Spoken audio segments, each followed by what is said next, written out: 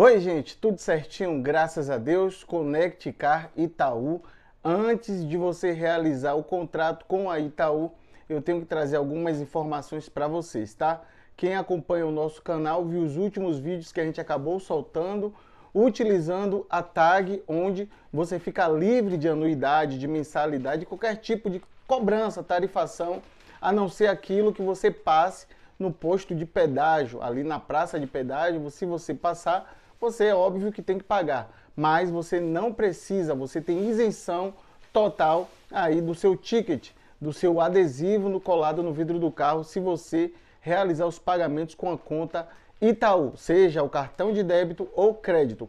Mas antes de você adquirir esse serviço, eu tenho que trazer algumas informações para vocês. Se vocês já estão utilizando, então você precisa saber o que pode acontecer aí com vocês e o que aconteceu com a gente. A gente nesse primeiro momento vai explicar para vocês alguns passos, depois a nossa viagem quase fica frustrada por causa do Itaú. Não tão somente da Connect Car, mas sim também do Itaú, tá? Então nos acompanham que eu tenho uma notícia muito importante para relatar para todos vocês aqui, tá? Sobre a Connect Car e a parceria com o Banco Itaú. Mas antes de começar esse vídeo, eu já te peço aquela ajuda, você ainda não é inscrito aqui no nosso canal, por gentileza, se inscreve, ativa o sininho para ficar por dentro de todas as novidades. Teve dúvida ainda assim?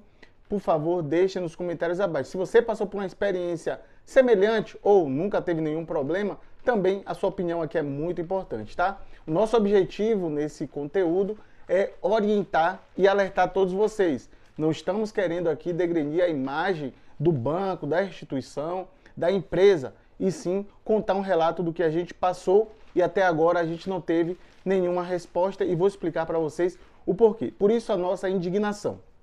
Alguns dias atrás a gente estava pesquisando uma tag para que a gente possa passar é um posto de pedágio ali que a gente não precise aguardar, ficar andando com moedas, às vezes você passa um valor errado, tem que repassar novamente, então cria todo um transtorno, sendo que também ocupa muito seu tempo, se principalmente for um feriado, para você realizar uma fila. A gente sempre usou aqui a tag do C6 Bank, uma tag que a princípio a gente imaginou que por começar a cobrar uma tarifa mensal, não seria uma boa ideia tê-lo, porque o mês que você não utilizar, você teria que pagar. E nem todos os meses a gente está utilizando o veículo para transportar daqui para lá, de lá para cá, então a gente optou a trocar. E o que a gente mais achou viável nesse momento foi do Itaú.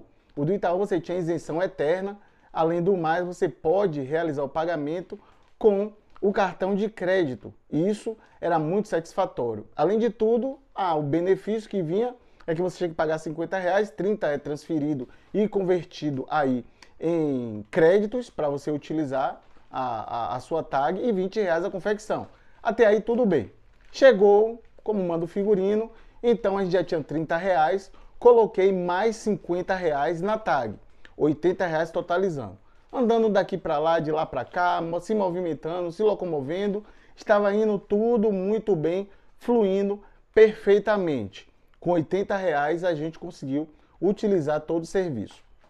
E a gente programou para que no sistema, quando tivesse com valor menor de 30 reais, automaticamente iria recarregar. Como eu não faço movimentações com o Banco Itaú, então eu decidi é, colocar valores a conta gota. Como assim? Quando eu quiser colocar recarga na minha, na minha tag, eu ia lá simplesmente colocava 50 reais na Connect Car, no caso. Coloco aí na conta, no meu débito, e automaticamente 50 era convertido para o Connect Car. Então eu fiz isso dos 50 reais o primeiro, que deu 30, então 30, e depois eu fiz de 50. Posteriormente, eu decidi colocar 50 reais. Passou alguns dias, fui lá e coloquei a última recarga que eu fiz, foi essa agora, de 50 reais. Coloquei 50 reais e para minha surpresa passou um dia, passou dois dias e não entrou o valor na Connect Car. Então sempre atualizando, não entendi o porquê, porque eu estava pagando com cartão de débito, foi quando eu decidi abrir a conta do Itaú. Ao abrir a conta do Itaú, eu percebi que meu valor de 50 reais não estava lá. Então, alguns inscritos e aí quiseram nos ajudar aqui no canal e acabaram fazendo alguns valores para manter o canal. A gente fez um pedido e nesse momento que a gente fez o pedido, ao colocar qualquer valor que entra na conta, até mesmo quando a gente vai colocar, eu fiz um teste, coloquei dois reais, todo o valor que a gente colocava na conta estava sendo subtraído. Bom, 50 reais que eu botei foi roubado, literalmente subtraído de forma indevida. E aí entrei em contato com o Itaú pelo chat. Horrível, muito péssimo o atendimento, porque fica difícil da gente explicar. Então o que aconteceu? A gente entrou em contato com eles, eles nos falou o seguinte: ó, você já tinha colocado 50, tirando esses 80 que eu já falei para vocês que eu gastei todo na viagem, no, no, nos passeios. Ele falou o seguinte: você botou 50, entrou de crédito para você. Depois você ficou com saldo devedor de 50 reais. E eu falei para ele o seguinte: ó, eu poderia ficar com saldo devedor porque disse que era o adiantamento depositante. Eu até entenderia se entrasse o crédito na, no meu Connect Car e eu não tivesse é, colocado dinheiro na conta. Então eu pagaria. Tudo bem, já que vocês emprestaram um valor de 50 reais. Só que esse valor não existiu. E ao abrir o extrato do Itaú, está mostrando que eu fiz dois depósitos de 50 reais. Um que foi de forma automática e outro mais 50, que foi aí onde eu coloquei. Então teve uma falta de informação, falta de comunicação entre eles lá, que até agora não entrou nenhum valor a mais na minha Connect Car. No último dia a gente passou um transtorno terrível, inclusive em uma via famosa aqui no Brasil, e vou soltar esse vídeo para vocês tudo o que aconteceu nessa rodovia. Foi um transtorno impressionante, tá? Claro que ah, nesse caso já não foi mais a culpa do Itaú, e sim é, de quem toma conta dessa via. Então eu vou soltar o vídeo do nosso passeio, de tudo que aconteceu e dos funcionários que a gente conversou, tá? Então nos acompanha nessa aventura que a gente vai soltar. Finalizando, então a gente conseguiu, conseguiu um dinheiro lá no meio da estrada, que a gente ficou sem dinheiro. Então foi bastante difícil, que a gente não tinha caixa eletrônico, e a gente conseguiu o dinheiro e colocou é, diretamente no Connect Car, já não colocou mais através do Itaú. Moral da história o Itaú subtraiu 50 reais meu, o Itaú disse que tinha colocado mais 50 reais na minha Connect Car, sendo que não entrou nenhum valor a mais de 80 reais. Entrou 50 nos últimos dias, depois que eu fiz a reclamação e decidi não usar mais o Itaú. Então eu quero orientar uma coisa aqui para todos vocês.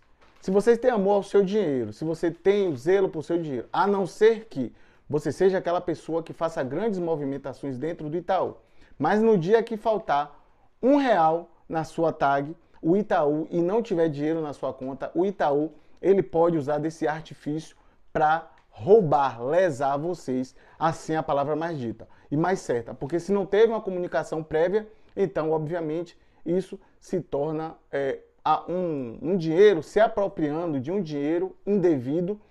Muitos podem até falar assim, mas você está fazendo uma tempestade em 50 ou 100 reais. Gente, mas não é uma tempestade. É uma situação que me levou a um constrangimento em uma rodovia. Não tanto o valor de 50 reais, e sim é, o problema que foi causado dentro de uma viagem, por, tudo por causa de uma tag, tudo por causa do Itaú, tá? Então a gente entrou em contato com o Bacen, entramos em contato com o Banco Central. O Banco Central me deu 10 dias para o Itaú resolver e o Itaú não resolvendo, aí com a gravação que eu fiz da estrada, de todo o transtorno que foi causado, irei com uma medida na pequenas causas. A princípio, pequenas causas. Se caso precise de um advogado, aí a gente entra com uma outra instância. Mas os valores foram subtraídos e não entrou na Connect Car. Se a Connect Car pegou o dinheiro e não colocou, então não é um problema meu.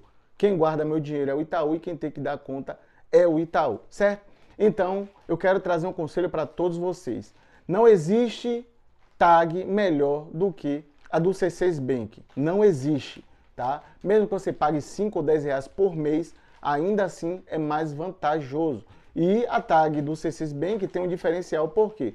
Porque o, quem toma conta é o próprio C6 Bank, a tag. Então, nesse momento, o C6 Bank, ele pega o dinheiro que está depositado na sua conta e ele vai tirando aos poucos. Você passa no pedágio agora 3 reais, ele desconta somente 3 reais. Então não precisa fazer uma recarga separada. Então tome cuidado, tá? Fujam do tag do Itaú. Connect Car é uma empresa que eu não aconselho ninguém a ter. Quem tem e dá super certo, fiquem à vontade em comentar, falar, ó, oh, Silvas, eu gosto muito.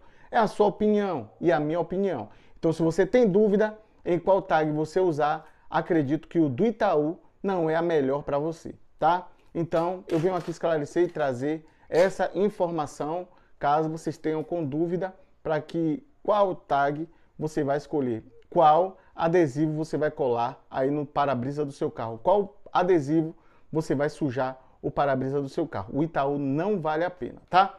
Então fica aqui essa super dica, acompanhe os nossos vídeos, porque a gente vai trazer logo em seguida toda a viagem da gente no percurso de tudo que aconteceu. Foi uma aventura, é, um estresse, mas no final deu tudo certo, graças à última atendente que nos atendeu e você vai acompanhar todo o vídeo, tá?